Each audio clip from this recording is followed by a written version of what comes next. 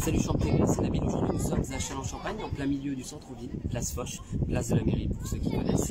Et nous allons aller à la rencontre de l'association Solidarité Verneuil, dont la présidente est Hélène, et qui fait une tournée en France, une grande tournée d'ailleurs, et elle va vous expliquer ce que c'est. Alors c'est parti, on va à l'intérieur du camping-car, on y va.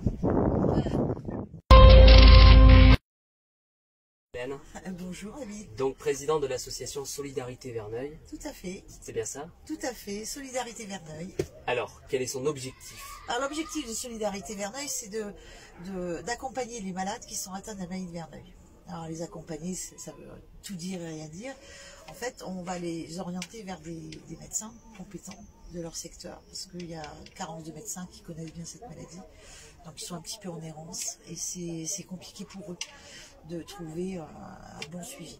Donc surtout ça, les accompagner à ce niveau-là. Ensuite, on va euh, organiser, on va faire en sorte qu'ils se rencontrent, parce que la maladie de Verneuil est une maladie qui isole beaucoup. Donc vous voulez Il y a beaucoup de malades qui s'isolent. Donc l'idée, c'est de mettre les malades en contact entre eux, parce que ça libère la parole. Ça libère un petit peu la Ça parole, ça met un échange, ça met une Voilà. solidarité. Donc là, vous faites la petite tournée pour expliquer un petit Oh, peu. c'est pas une petite tournée. C'est une grande, excusez-moi, j'ai Euh, sous-estimé la tournée mince. La grande les- tournée, surtout quand on est dans le camping-car. Voilà, toutes les On est en plein Là, pour nos 10 ans, puisqu'on a été créé, j'ai fondé l'association en 2009, on est sur Villeurbanne, donc euh, près de Lyon. Et en 2009, euh, aujourd'hui 2019, Oui, bon, en fait, nos 10 ans. Et on s'est dit, pour nos 10 ans, il faut marquer faire quelque chose un petit peu plus... 10 euh, ans d'existence, c'est quand même voilà. important pour une association surtout. Donc on s'est dit que ça serait peut-être pas mal de faire une, une mission de- de- d'information pour les malades qui sont déjà diagnostiqués et puis de prévention, en profiter pour toucher au Chili. Aussi les gens qui ne sont pas diagnostiqués. Parce qu'il y a énormément de gens qui ont la maladie de Verneuil qui ne le savent pas. Atteinte de la maladie, maladie de Verneuil, c'est ça? Donc, du coup, la maladie de Verneuil, c'est assez handicapant, handicapant au quotidien. Ça se forme par bulles, donc ce qui crée des abcès, qui se percent ou ne se percent pas, donc c'est très douloureux.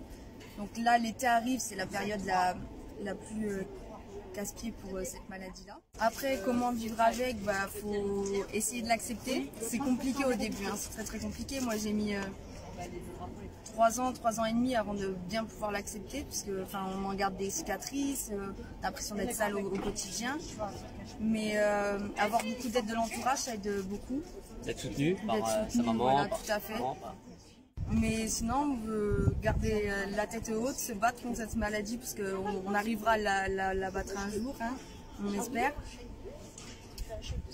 Et puis euh, garder le sourire, Voilà. c'est le principal. Ça c'est l'essentiel, c'est garder le sourire et donc merci euh, pour ton témoignage.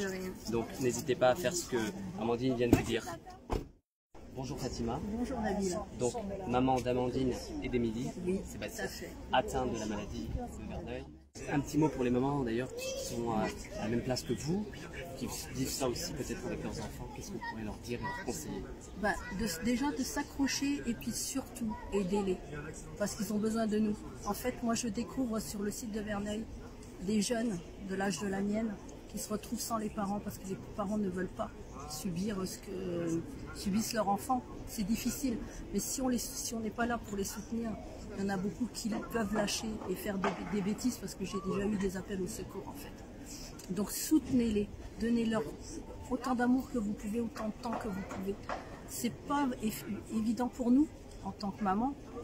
C'est vrai que ça nous fait souffrir aussi, mais d'être là présent au quotidien, ça peut les aider énormément. Donc accrochez-vous avec eux. C'est tout ce que je vous souhaite.